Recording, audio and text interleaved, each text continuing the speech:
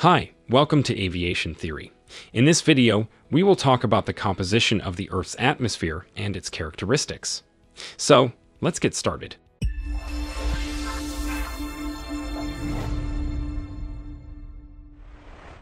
As we mentioned in a previous video, the atmosphere is the gaseous layer that surrounds the Earth.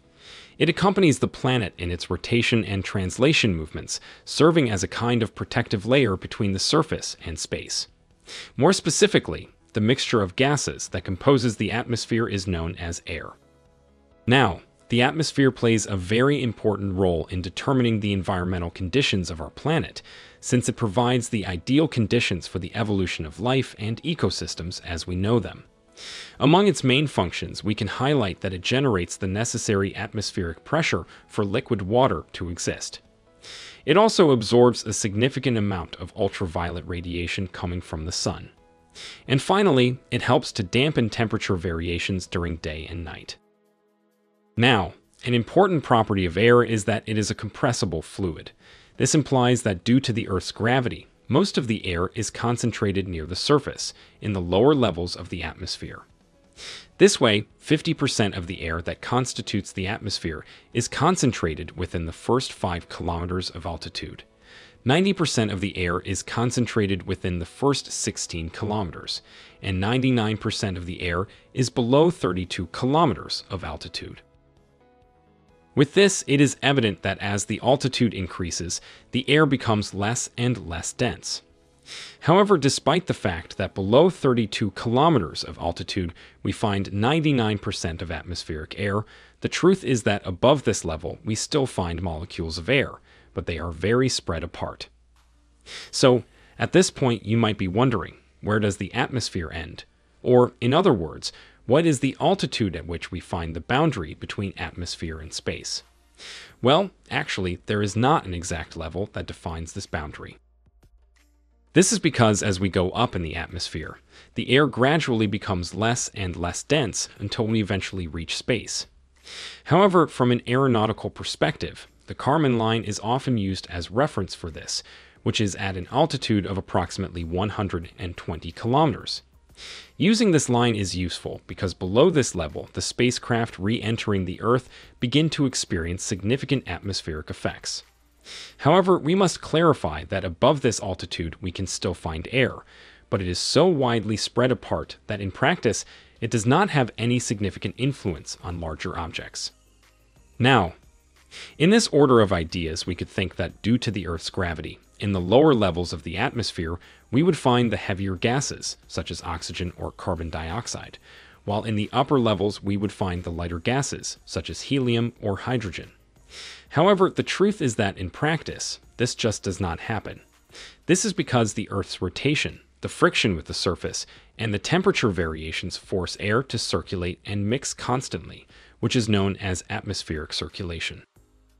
This constant atmospheric circulation in search of equilibrium, especially at low levels in the atmosphere, causes the gases to mix with each other. This way, we obtain a mixture of gases of fixed proportions from the surface up to an altitude of about 70 kilometers.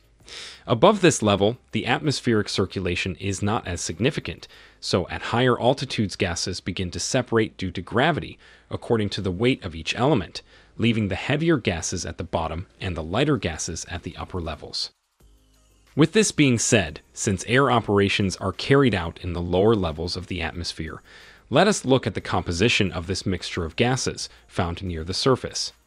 The air here is composed of 78% nitrogen, 21% oxygen, and 1% of other gases such as argon, carbon dioxide, neon, helium, ozone, and others.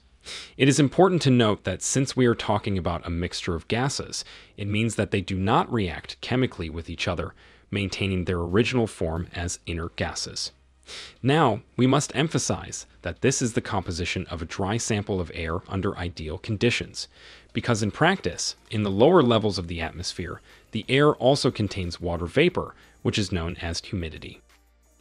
Water vapor is simply water in its gaseous state, and therefore humidity is the measurement of how much water vapor is contained in a certain volume of air.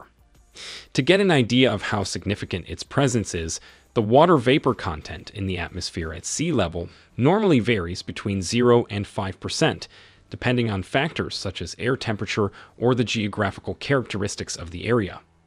Now, since humidity depends in part on the air temperature, as we go up in the atmosphere and the air temperature decreases, the humidity also decreases, so that above an altitude of 10 kilometers, the presence of water vapor is minimal.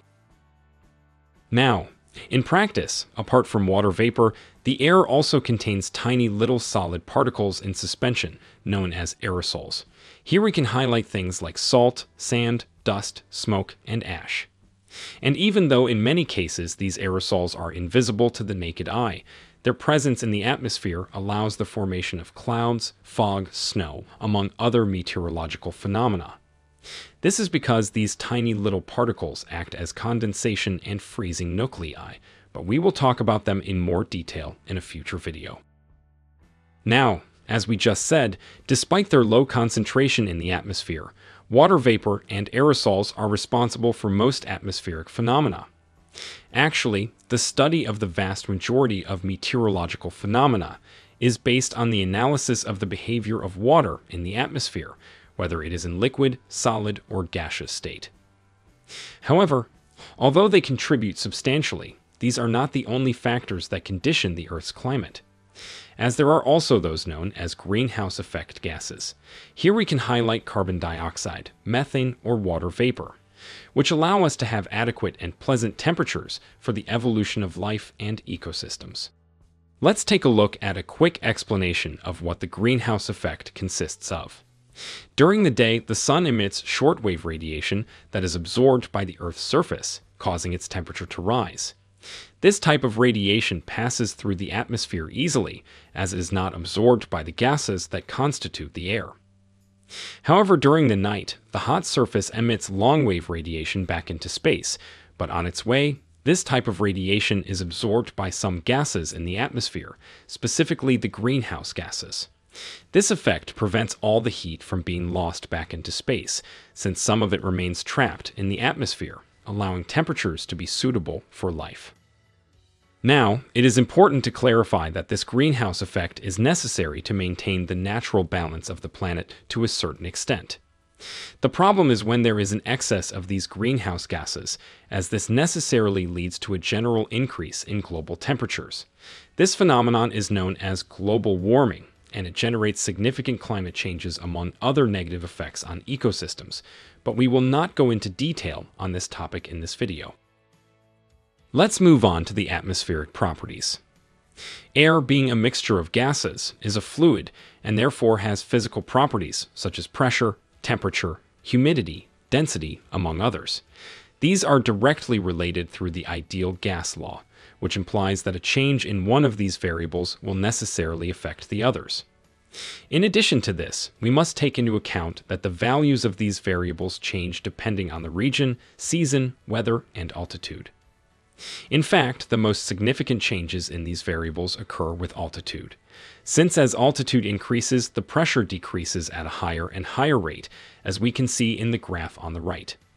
However, unlike pressure, as we can see in the graph on the left, temperature has a rather curious behavior, since depending on the altitude range analyzed, temperature can increase or decrease at different rates.